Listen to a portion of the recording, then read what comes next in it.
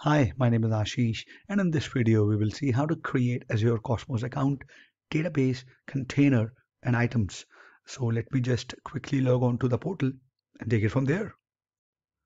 I am logged on to the portal and in here I will select to create a resource and I will mention Azure Cosmos, Cosmos DB I will click on create.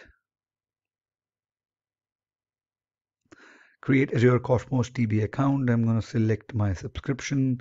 I'm going to create a new resource group, test, Sir.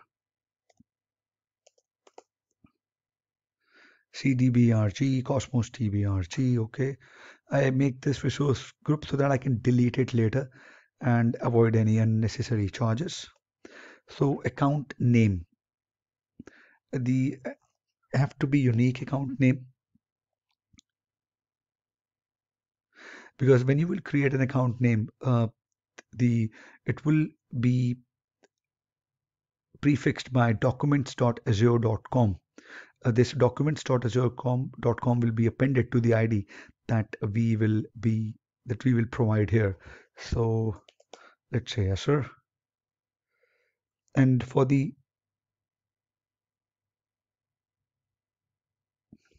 for the API we can select core SQL you can anything I'm going to go with core SQL Apache Spark if you enable Apache Spark with your Azure Cosmos DB account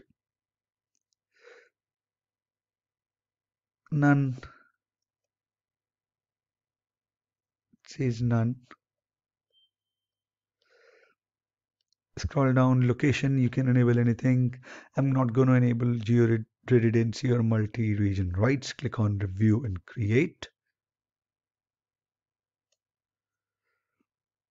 It's going to reviewing it.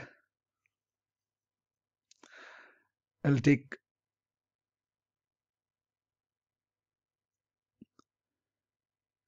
it, it says that it, the estimated account creation time would be 10 minutes I'm going to click on create. Create here initializing the template deployment to the resource group. Now it's submitting the deployment. If I'm going to click here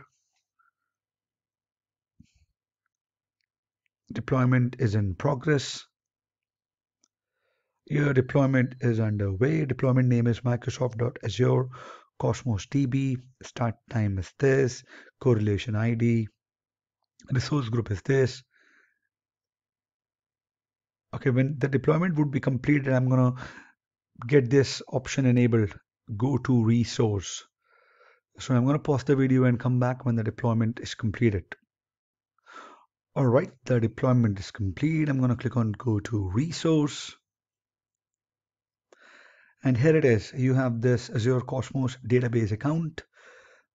You have the create items container. You have the overview.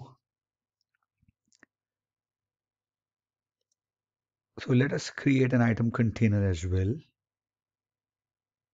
You can create a .NET container. You can create a .NET core container. Xamarin Java Node.js and the Python. So this video is uh, already a four minutes. I'm gonna create, I'm gonna continue with this video in the next video wherein we will uh, add a database and a container. So I'll see you guys in the next video. I know the title mentioned the container item as well, but let's leave it here and I'll see you guys in the next video to continue this. Thank you. Have a great day. Bye bye.